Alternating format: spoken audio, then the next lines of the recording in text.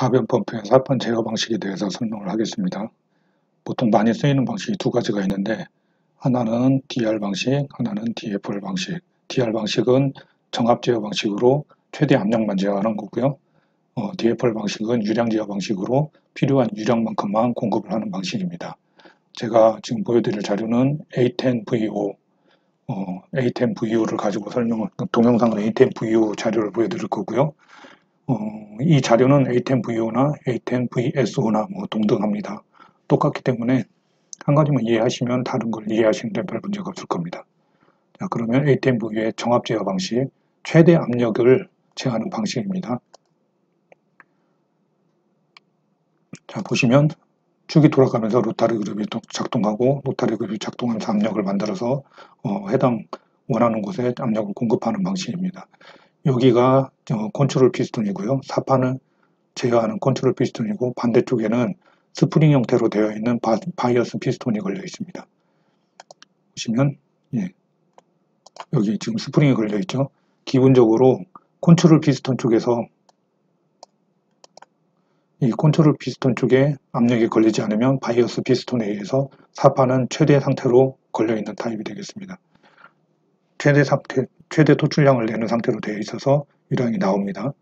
그리고 유량 라인상의 부하가 가득 차게 되면 이쪽 라인에 압이 걸릴 거고요. 여기 빨간 선, 빨간 선을 따라가 보면 그 라인이 레귤레이터 쪽으로 들어옵니다. 그래서 이 레귤레이터 쪽에 여기에 구멍이 뚫려 있는데 이 구멍, 이 레귤레이터 중 관로가 이 구멍을 통해서 이 뒷단에 와서 이 spool을 밀어줍니다. 이쪽에서부터 이쪽 방향으로 spool을 밀어줍니다. 구멍을 통해서 spool을 밀어주게 되면 이쪽에 세팅되어 있는 힘보다 높게 압력이 걸리면 스프링이, spool이 밀리는 구조입니다. 그러면 이렇게 해서 spool이 밀리게 되면 기본적으로는 이쪽에 걸렸던 압력이 이렇게 막혀 있는데 이 스풀이 밀려서 이쪽 관로가 열리게 되면 이쪽 관로를 통해서 이렇게 관로를 통해서 컨트롤 피스톤 쪽으로 압력이 공급됩니다. 그렇게 컨트롤 피스톤 쪽으로 압력이 공급되고요. 압력이 공급되면서 컨트롤 피스톤이 사판을 중립 형태로 만들어 버립니다. 그러면 로터리 그룹은 계속 회전을 하지만 토출량은 더 이상 나가지 않는 형태로 사판이 중립된 형태로 됩니다. 그리고 이쪽 라인에서 부하가 없어지게 되면 이쪽 라인은 압이 없어지게 되고 요, 요 스풀이 원래 위치로 돌아오면서 스프링에 의해서 이 컨트롤 피스톤의 압력이 빠지게 되고 이게 탱크로 빠지면서 이게 원, 원래 형태로 돌아가게 됩니다.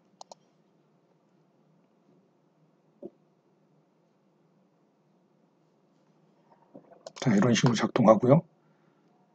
DFL 타입은 거기에 추가로 기능이 하나 더 붙어서 아래쪽은 DR 타입과 동일합니다. 추가로 어떤 게 뭐냐면 위쪽에 어, 유압, 유량 제어를 하기 위한 차압 방식의 수풀이 하나가 더 붙습니다.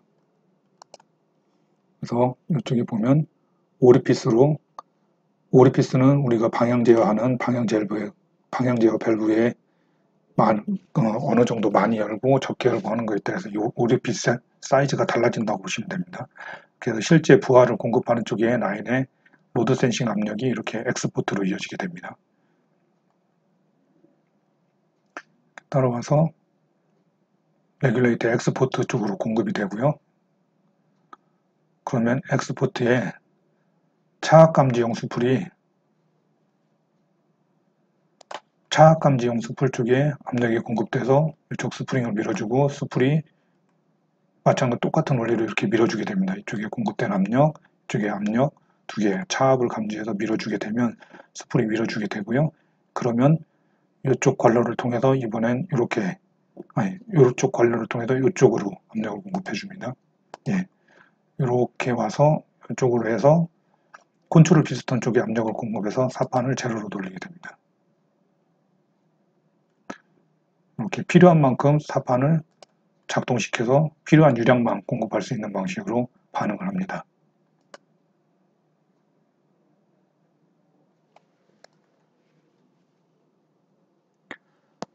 자, 정압 제어 방식을 보시면은 기본적으로 이 위쪽에 하나 더 있는 스프는 무시하시면 됩니다. 그래서 위에 거를 꽉 잠궈 놓으면은 한 개만 있는 회로가 되고요. 그러면 정압 방식이 됩니다.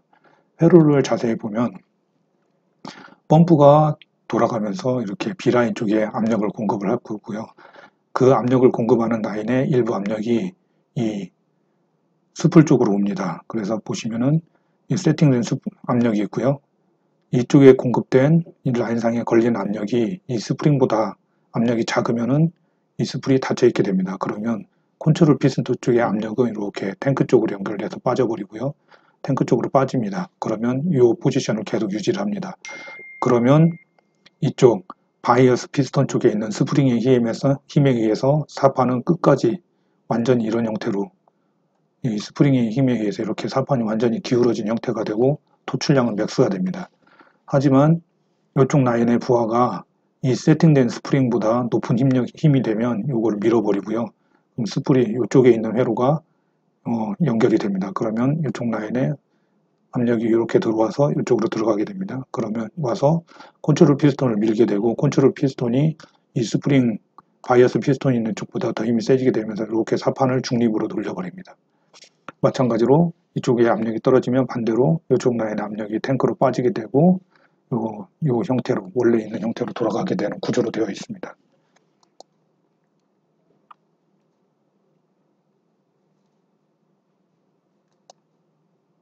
자, 두 번째는 DFR 방식이고요. DFR 방식은 마찬가지로 밑에 거는 동등하게 똑같이 앞에 거 DR 방식과 똑같이 동작하고요. 위에 이 유량 제어 차압 방식의 유량 제어 피, 어, 스프링 하나가 더 붙습니다. 그래서 X port 라인상에 실제 부하인 X port가 이렇게 들어오게 되면 이쪽 X port로 들어옵니다. X port로 들어와서 실제 부하가 라인상에 걸려있는 부하가 이 세팅된 부하만큼 많이 걸리지 않더라도 펌프에서 공급하는 유량의 부하가 이 엑스포, 엑스포트와 스프링의 힘보다 높게 되면 이걸 밀어서 열게 됩니다. 이쪽 관로. 그러면 이쪽으로 이렇게 연결이 돼서 회로가 어, X port는 실제 라인상에 걸리는 부하 예를 들어서 뭐 100바가 걸린다고 하고 요거는 300바가 어, 250바가 걸린다고 하겠습니다. 그러면 기본적으로 부하량, 부하가 100바라고 하면 100바 플러스 이게 예를 들어서 뭐 한 어, 10바라고 그냥 하겠습니다. 10바 그러면 이쪽 라인에 110바가 만약에 걸리게 되면 110바가 걸리게 되면 이걸 밀어서 밀어서 열게 되고요. 그러면 이렇게 관로가 이렇게 트이면서 여기에 컨트롤 피스톤의 압력을 공급해서 사판을 중립 형태로 바꾸게 됩니다. 그러면 이쪽 라인 압력이 떨어지겠죠. 압력이 떨어지면은 이쪽 어, 이쪽 라인을 공급해주는 압력과의 평형이 되게 되고요. 이쪽 압력이 떨어지면 다시 엑스포트와 스프링 힘에 의해서 이쪽으로 컨트롤 피스톤으로 공급돼주는 압력이 없어지게 되고 그러면 이 어, 바이어스 피스톤의 스프링 힘에 의해서 다시 사판의 각도는 기울어지게 됩니다. 이게 계속 반복되면서 서로 평형을 이루어서 내가 원하는 만큼의 유량만 내보내고 필요하지 않은 만큼은 사판을 돌려서 유량이 나가지 않도록 만들어주는 방식입니다. 그래서 내부 구조를 잘라놓은 걸 한번 보시면 실제 이렇게 생겼고요. 요게 정압을 제어하는 정압 제어용 스프이고요. 이게 차압을 제어하는 차압 제어용 스프입니다. 요거를 꽉 잠궈 가지고 이 스풀이 움직이지 않게 해버리면은 그냥 정압 제어용으로만 사용, 사용하는 거고요. 이게 없는 한 개짜리만 사용하는 게 정압 제어용입니다. 그리고 마찬가지로 되어 있고 여기는 양쪽에 오리피스가 뚫려 있고요. 여기에도 오리피스가 뚫려 있습니다. 기본적으로 어, 회로는 이 위에 있는 거 거꾸로 뒤집은 이 형태이고요. 보시면 펌프에서 뿜어 나오는 유량이 메인 관로로 빠져나가고 그 일부 유량이 이쪽 관로를 통해서 들어옵니다. 그 유량은 여기를 통해서 들어오고요. 그 다음에 첫 번째 스풀이 있고요. 정압제어용 스풀이 있고 정압제어용 스풀이 있습니다. 이 뒤에 구멍을 통해서 이쪽 뒤로 밀게 되고요. 스프링은 여기에 있습니다. 그래서 이게 릴리프 밸브가 안 열리도록 이쪽 스프링이 잡고 있는데 압력이 높게 걸려서 이 뒤로 밀어주면 스프링이 열리면서 스풀이 이쪽으로 움직이게 되고 기름이 이쪽을 통해서 이렇게 해서 컨트롤 피스톤 쪽으로 들어가게 됩니다. 그리고 일부 유량은 이쪽을 통해서 탱크로 빠져나가게 되고요. 그리고 만약에 어, 이쪽 라인의 컨트롤 압력이 떨어지게 되면 다시 스프링에 의해서 이게 닫히게 됩니다. 그리고 차압 제어용 스풀은 이쪽 X 관로를 X 포트를 통해서 압력을 받아서 이쪽을 밀게 되겠고요. 이쪽에서 공급한 힘, 힘은 똑같이 요거하고 동일한 형태로 작동을 해서 두 개의 힘이 요거보다 세지면 열리겠죠. 그러면 그 관로를 통해서 이렇게 이쪽으로 공급이 되고 그 기름을 이렇게 해서 컨트롤 피스톤으로 공급되는 형태입니다. 실제 내부 부품은 여기 보여지는 동영상을 보시면 되겠고요. 자, 절단면을 열어보시면 열어보면 이렇게 생겼고요. 내부의 부품은 이것과 동일합니다.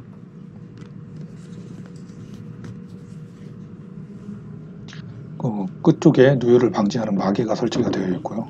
마개를 열어주면 어, 이쪽에 조절용 나사가 보입니다. 그냥 조절용 나사이고요. 여기에 누유를 방지하는 가스켓이 설치가 되어 있습니다. 양쪽 다 동일하고요. 이쪽 숯불은 차압을 감지하는 한 뭐 15바에서 20바 정도, 보통 12바에서 한 18바 정도로 사용할 수 있게 되어 있기 때문에 이쪽 스프링은 상당히 작은 형태로 되어 있고요.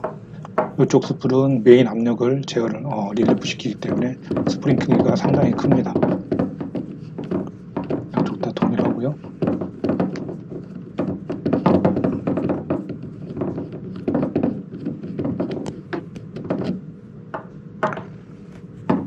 밸브를 뜯어보면 뭐 별건 없습니다. 이 스풀과 스프링의 힘이 서로 작동할 수 있게 판이 하나 있고요. 그 뒤에 스프링이 이중으로 들어가 있습니다. 하나는 큰 스프링, 하나는 작은 스프링으로 되어 있는데 그거는 큰 압력과 그 다음에 세세한 반응성을 두 가지를 어, 만족시키기 위해서 스프링을 두 가지 형태로 씁니다. 여기는 오리피스가 설치되어 있고요. 오리피스는 여기 보이는 이 부분에 해당됩니다. 이 밸브를 뜯어보면 판하고 스프링, 스프링이 이중으로 되어 있고요. 이중 구조로 되어 있습니다. 그리고 뒤에는 그냥 나사만 연결되어 있습니다. 스프링을 밀 수 있는 판이 양쪽으로 되어 있고요. 이거는 차압을 감지하는 거기 때문에 스프링이 아주 작습니다. 두 번째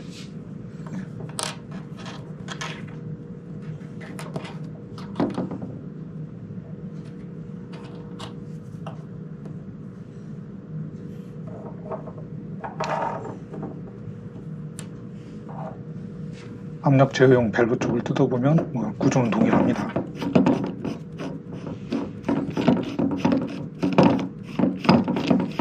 이쪽이고요. 그냥 금일 사진으로 봐도 스프링의 크기가 확연하게 차이가 나죠. 보시면 뜯어보시면 네, 연결하는 플레이트 있고 스프링 이중 스프링이 들어가 있고요. 뒤에 플레이트 있고 네, 뒤쪽에는 조절하는 나사만 있습니다.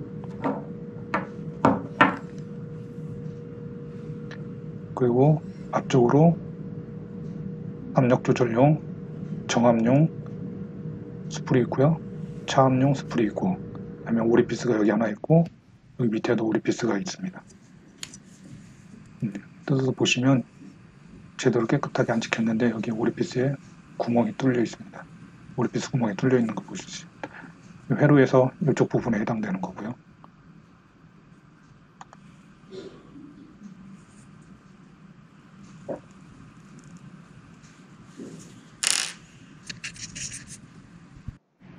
여기에도 오리피스가 하나 있습니다.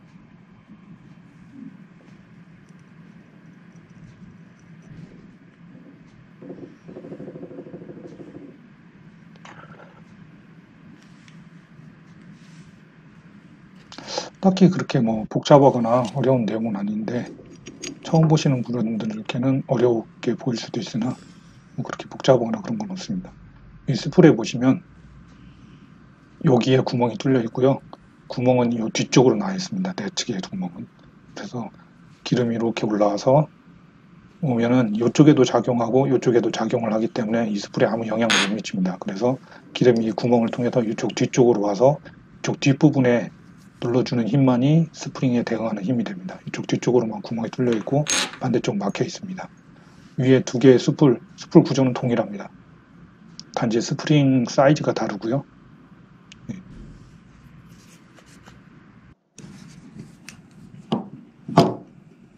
동영상이 깨끗하게 안 찍히고 초점이 안 잡혀서 너무 가까이 찍어서 초점이 안 잡혀서